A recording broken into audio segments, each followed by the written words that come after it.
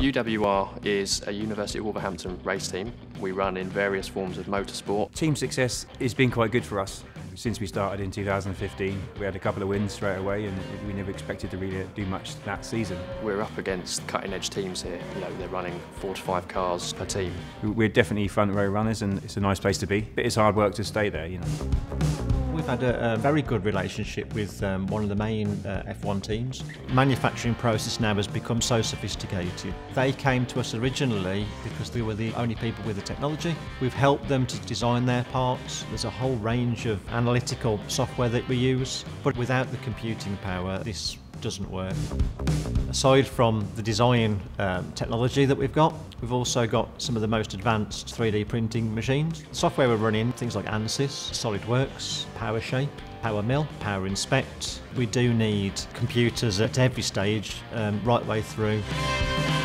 Design simulation goes hand in hand with what we do. They've used Faro arms and stuff to, to scan the car. And they'll basically create CAD model of the car to try and do investigations into aerodynamics and airflow. It requires the real power that the Lenovo workstations provide to do those number crunching parts. With all the software that we run, whether that be the high end stuff or even the low end stuff, we always need the computer to be running optimally. So we tend to go towards the Lenovo Performance Tuner as a way of optimizing our performance tasking so that we always get the best out of what we're doing.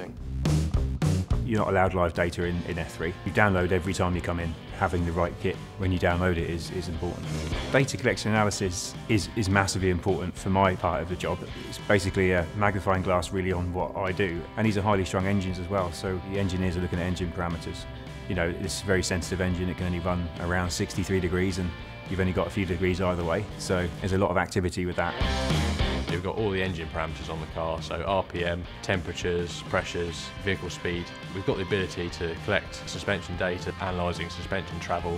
Having the Lenovo mobile workstation is very important because it allows us to download and analyse the data very quickly. And we want to win races by hundredths of a second. Having uh, the Lenovo kit is tenths of a second or hundredths of a second for us.